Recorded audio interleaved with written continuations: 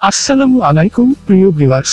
মালয়েশিয়ার সাবেক প্রধানমন্ত্রী নাজিব রাজাকের বাড়িতে তল্লাশি চালিয়ে দুইশো চুরাশি বাক্স ভর্তি হাত ব্যাগ বাহাত্তর ব্যাগ ভর্তি অর্থ ও গহনা জব্দ করেছে পুলিশ।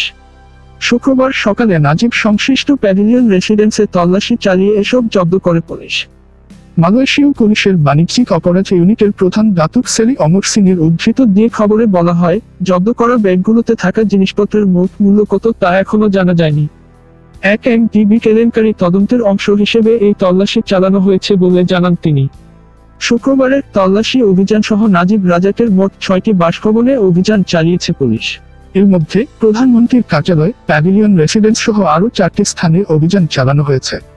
সিং বলেন, আমাদের কর্মীরা বাহাত্তরটি ব্যাগের ভেতরে মালয়েশীয় রিঙ্গিত মার্কিন ডলার সহ বেশ কয়েকটি মুদ্রা, ঘড়ি ও গহনা পেয়েছে।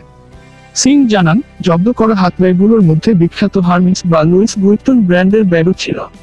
সাবস্ক্রাইব করুন এসিপি নিউজকে এবং নতুন খবর খবর পেতে পাশে ঘণ্টার উপরে ক্লিক করুন। এসিপি নিউজ, ধন্যবাদ।